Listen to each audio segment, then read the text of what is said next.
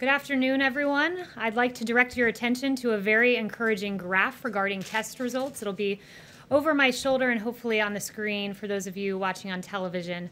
As this chart shows, the United States has to date completed 7.5 million coronavirus tests. It's an extraordinary number. And as you can see, the United States leads the world in testing. This graph is no accident. In fact, this graph is a testament to American innovation including the work of the Trump administration. For example, the FDA has issued over 70 emergency use authorizations to expand testing capacity. To accelerate the development of therapeutics and vaccines, there are nearly 80 clinical trials ongoing, with an additional 30 clinical trials expected. This graph is also a testament to the American people, who have been, and it's no exaggeration, American warriors as they've followed social distancing guidelines and taken steps to ensure that the health and safety of our vulnerable populations is protected. Finally, I would like to note that this graph indicates that the U.S. has conducted double the number of tests conducted in other countries. The U.S. is providing leadership during this crisis, not only leading the world in testing, but also taking steps to help allies around the world. Steps we are able to take only because of this country's incredible ingenuity and work ethic. As you're well aware, President Trump has consistently sided with the experts and has always prioritized the health and safety of the American people. This includes issuing guidance that meant hardworking Americans had to stay home, social distance, and slow the spread of the virus. The hard work of Americans saved many lives, and we salute the great citizens of this country for your hard work. As Americans across the country stayed home and businesses temporarily shut their doors, President Trump ensured American employees and employers would receive the help that they needed. The Paycheck Protection Program provided forgivable loans to small business owners who kept their employees on payroll. To date, 2.3 million small business loans have been processed, with the average loan being $76,000. In other words, meaning that the small businesses that needed the help the most got it. I would remind everyone that of the 1.6 million loans given out in the first tranche of spending, 1 million of those went to businesses with 10 or fewer employees. So it truly has go- gone to those who need it most. Joe Shamess is a small business owner. Joe, with his co founder Brian Stortz, are two veteran special operators in the military who started Flags of Valor in 2015. It's a veteran owned, veteran run manufacturing company located not too far from here in Virginia. Flags of Valor builds wooden flags, among other products. They've employed over their years 65 veterans and have raised over $1 million for veteran charities. Flags of Valor is also proud to have 97,000 hours of American man- manufacturing labor under their belt. It's a lot of hours. At the start of this crisis, Joe had to furlough four of his employees, in, in addition to imposing a 50% pay cut. His employees were, of course, disappointed, but they were, quote, in his words, all in in the fight against the coronavirus. Everything changed for Joe and his furloughed employees when he applied for the PPP loan. Just this week, he was approved for that PPP loan that enabled Flags of Valor to rehire its furloughed employees and to boost paychecks back to pre coronavirus levels. PPP was a huge lifeline for us, Joe told me. He called it a lifesaver. This is a perfect example of why President Trump fought for additional PPP funding and will continue to fight for small businesses and American heroes like Joe. Joe is here with me today, and I'd like to invite him to come up.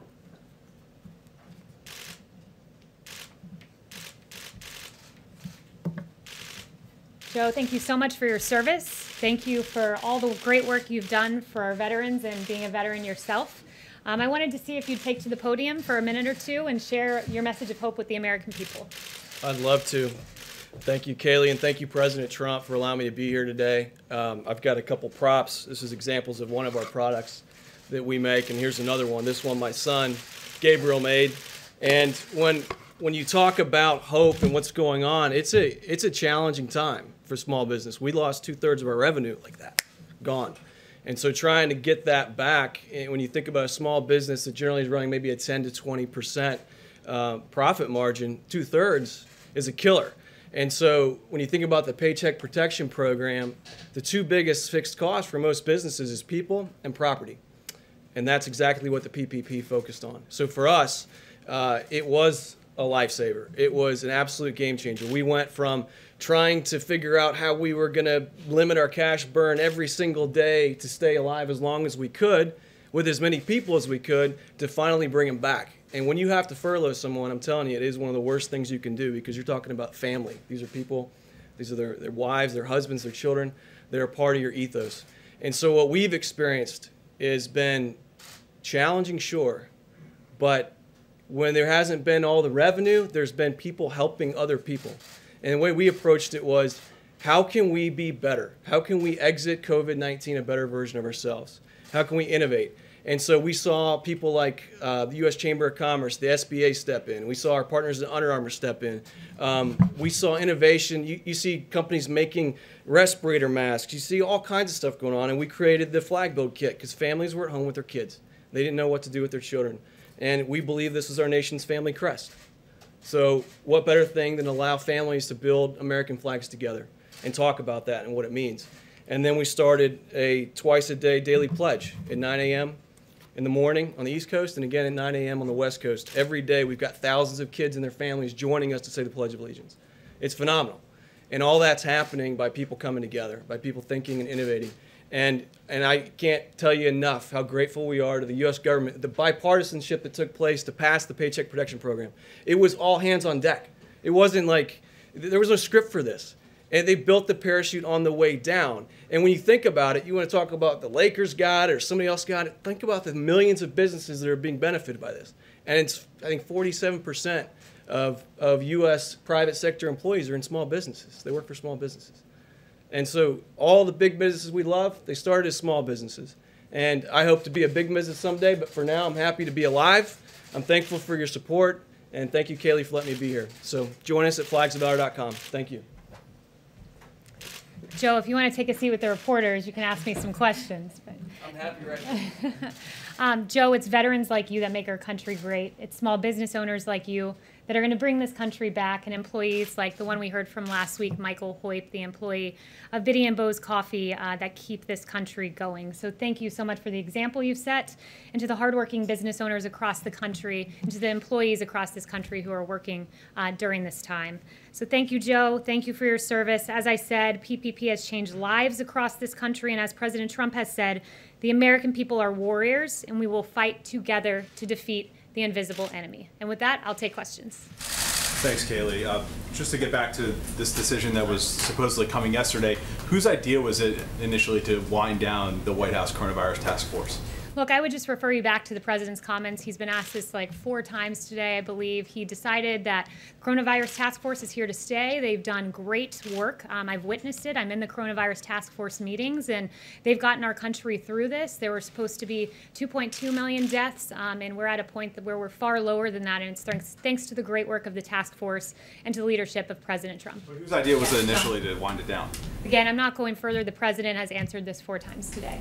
John? I just have a question about masks masks. I know there was some back and forth over the president wearing a mask yesterday. I don't want to ask about that, but the the White House's view. It, it, what is the White House's message to the American people? Does the White House, uh, does the president believe that people should be wearing masks as they try to get back to some semblance of their uh, normal life? Well, as we've put out, it's recommended, but that's the choice of the individual as to whether they wear a mask or not. The president uh, yesterday, the CEO of Honeywell, said that there was no need, and so um, he followed that that advice and that guidance. And you know, I would just note on the note of masks, um, 70 million N95 masks have been distributed across the country. 20 million, 25 million rather, are what's used in the average year for our healthcare workers. So fact that in a few weeks we've distributed nearly three times what is used in a year is extraordinary, and that's not to mention the 120 million surgical masks and the many other supplies that this president has if I can just follow up, what, what you know, the, I'm sure you've seen in a number of polls, there's a huge difference between Democrats and Republicans over whether or not they think it's necessary to wear a mask uh, in public. Do you have any sense as to why that would be?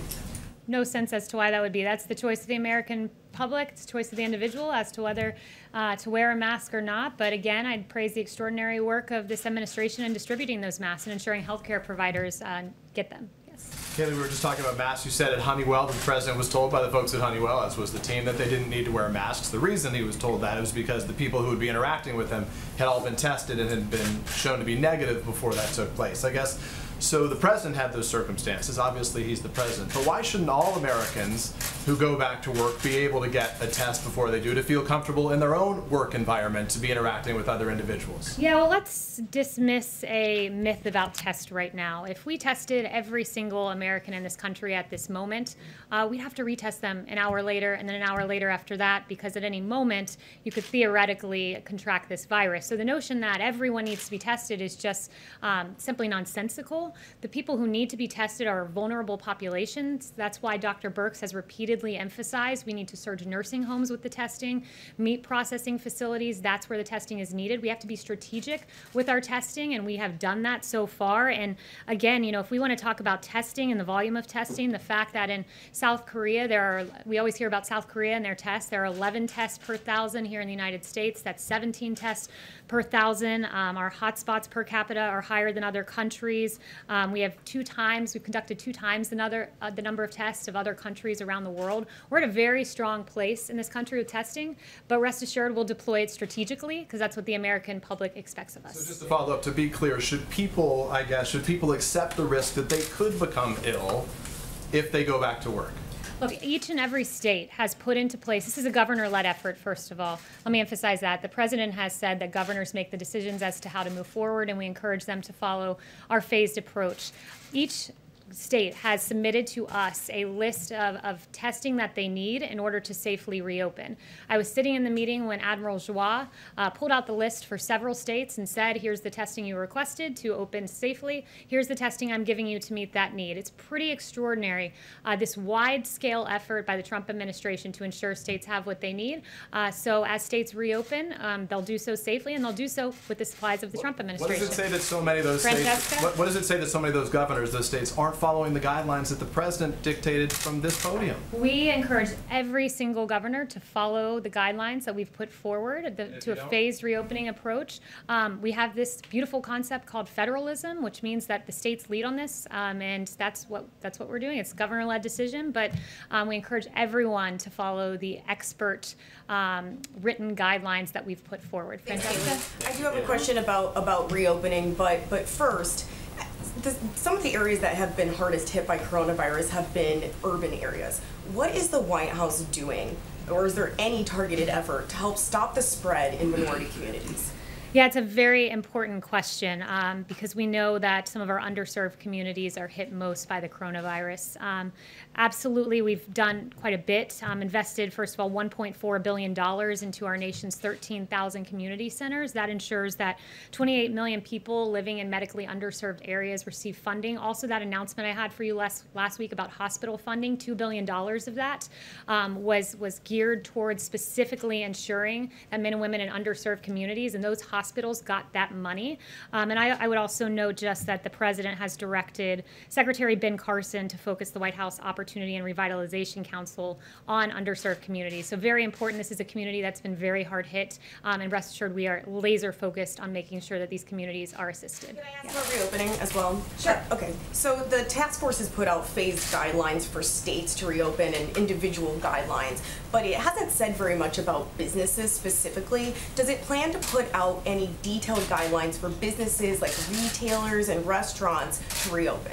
Well, in the phased approach, there are some recommendations for how, for instance, restaurants should reopen um, and the, the, the distancing that's required. And as you go through the phases, that distancing um, is shrunk, um, and there are other mechanisms that are outlined for restaurants and movie theaters and sporting uh, venues. So I would argue that our phased approach does take that into account. And each and every state, by the way, the governor is welcome to reach out to us. We're constantly communicating with the governors, and when I say we, the administration, meaning Dr. Birx and others. So we are happy to consult with with, with regard to specifics. Really detailed. Some other organiz- outside organizations have put, you know, very detailed step by step. Here's what you should do. You should require masks. You should require them to sit this far apart. You should only have half of it open in phases. Anything like that. We've put together a phased approach. Many of those um, guidelines are within. We've consulted individually with states, but as I said, it's a government governor-led effort. It's a state-led effort um, in which the federal government will consult, and we do so each and every day. So Yep. uh, you've used the phrase uh, to describe everyday Americans. The president's using that phrase as well.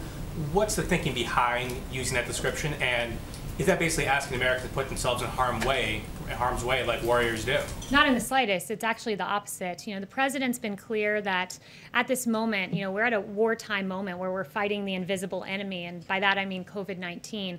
Um, and on the contrary, the, the notion that the American people are warriors, they're warriors because they've stayed home. They're warriors because they've social distanced. They're warriors because this mitigation effort um, is something that could only be done by the American people coming together and making really hard sacrifices. And the American public has done that, and we salute each of you um, around the country that have listened to these guidelines. I know it's been difficult, I know it's been hard, but it's because of you that we're at this place where we can reopen the Just country. clear, that's the opposite of what the president says, specifically because he says Americans must be warriors to reopen the economy. You're saying they've already been warriors by staying home. We're saying the we're saying the exact same thing. The president says they're warriors to reopen because guess what? In order to get to reopening, you have to social distance. Um, you had to put it together those very hard choices that allowed us to get to a point where we have um, the one of the lowest mortality rates in the world, and that's because of the American people. So it took the American people being warriors to get us to the point of reopening. Blake. Thanks, Kayleigh. Uh, I want to ask you about best practices, but first on China and some of the comments that the president made in the Oval Office. He said that there will be a report coming out next week, 10 days or so, as to whether or not they're living up to the deal China is. As it stands, though, right now, at this moment, how does the White House view the U.S. relationship with China right now? Right now, it's a relationship of, of disappointment and frustration because the president has said how frustrated he is that some of the decisions of China put American lives at risk. Um, I'll share just a few that China, for instance, did not share the genetic sequence until after a professor in Shanghai did so on his own. And after that genetic sequence was shared the next day, the lab was shut down for, quote, rectification. Uh, the World Health Organization slow walked information on human to human transmission that was not um, adequately provided by China. Um, China didn't let U.S. investigators in. And look, that those decisions um, put American lives at risk. And, and the president is certainly not happy about that. And as the president said, you'll be hearing more about that next. Business partners? Sorry? Maybe trusted business partners? Look, the president has worked with China and stood up to China and got the phase one China deal, a huge win, $250 billion. Um, the president managed to get that done. Um, and the president uh, appreciates that, that China got us to that point of the phase one China deal. So, you know, I'll leave it to the president as to how we move forward, and I certainly won't get ahead of him on that. On best practices, we heard the president say, as it relates to schools, that he wants to see schools open, but maybe teachers who are old, older than 60 not necessarily come back into the classroom. When you talk about reopening the economy, reopening the country again, there's a lot of people out there wondering, well, my school-aged child, should they come back into contact with a family member who might be older than 60 per se? What is the White House advice on that and families who are all over the country saying, is it time to meet up again? Well, the president and the task force have been clear that vulnerable Americans, our senior citizens, uh, need to shelter in place and they need to take extra measures of precaution because, as we know, they've been disproportionately affected by the coronavirus. So I certainly would include the senior community um, to continue to follow the guidelines we've put forward. Thank you. Uh, Dr. Birx has mentioned an influx of asymptomatic coronavirus cases. Without more widespread testing, how do you get a handle on something like that, and how do you keep people without symptoms from spreading the disease around the country? Yeah, so it's an important question. We get um, information on asymptomatic spread when we uh, test in the meat processing facilities and other facilities. Um, again, you know, we can just test strategically, and it's important that once we test and we find um, an example of someone who has coronavirus, um, that we can contact trace and ensure that it's not spread to other members of the community. So contact tracing is an important measure, um, and we're testing strategically and in line with governors. John. What's the process, uh, Kayleigh, for the distribution and access to remdesivir? Yeah, remdesivir is a great example um, of innovation in this country. I would note that remdesivir is a drug that the president mentioned um, quite often, and as it turns out, um, there's a, a, lot of hope and a lot of promise when it comes to remdesivir. Um, Gilead chairman announced last week, um, and CEO Daniel O'Day announced that they would be donating 1.5 million vials of remdesivir and working with the federal government to distribute to patients across the nation. So this will get out there, and we thank Gilead for the great work they've done um, and for giving these 1.5 million vials, which will help a lot of Americans around the But country. what's, but what's the process for distributing it and giving access to patients? I don't have any information on that um, as of now, but if once I get that, I, I can share that with you. Yes. Jeff. Uh, thanks, Kayleigh. Uh, the president said yesterday he does not want Dr. Fauci testifying before the House uh, because it's filled with Trump haters. How is that consistent with oversight and transparency? Well, first of all, um, what the president noted was specific to the House. It's important to note that Dr. Fauci will be testifying before the Senate, which means he will be fielding questions from both Democrats and Republicans. Um, the House, however, um, and specifically Chairwoman Nita Lowey's committee, did not act in good faith. Um, Mark Meadows had three calls with Chairwoman Nita Lowey three nights ago um, when she called to ask if Dr. Fauci could testify before a subcommittee hearing. And uh, Chief of Staff Mark Meadows has made clear he wants to make the best use he can of the task force members' time. Of course, they're working hard to save American lives, so that's very important. So, um, to that end, he said in the three phone calls, you know, what is the purpose of this hearing? Can you give me um, the subject matter? And Lowey was unable to tell uh, the chief of staff what the subject matter was. The last phone call they had was at 10:46 p.m. on that evening, and Lowey agreed to follow up in the morning with details. Those details were never received. Instead, uh, we got a press release. So that's what we call a publicity stunt. Um, we encourage the House to act in good faith, much like the Senate did. And as I noted, Dr. Fauci will be speaking in a, in a week and a half before the Senate, so the notion that he's being blocked is just farcical. Let me ask you just one other, can I ask you one other topic? Someone I have a Kayleigh? from Hi, back thank there. you. Um, does the president have doubts about the way the death toll is being calculated? Does he think perhaps the, the true toll is lower? So the president answered this, um, and he said no, just a, a few moments ago in the Oval Office. Um, on the mortality rate, I would note, as I noted just a few moments ago, we have one of the lowest in the world mortality rates. Um, it's because of the hard work of the American people. Our, our mortality rate, excuse me, is currently 218 per million. Um, you compare that to Spain's at 548 per million, Italy at 485 per million. Um, this country is in a place where, because of the work of the American people, we have um, escaped that 2.2 million number because of the um, extraordinary social distancing effort put in place by the American people.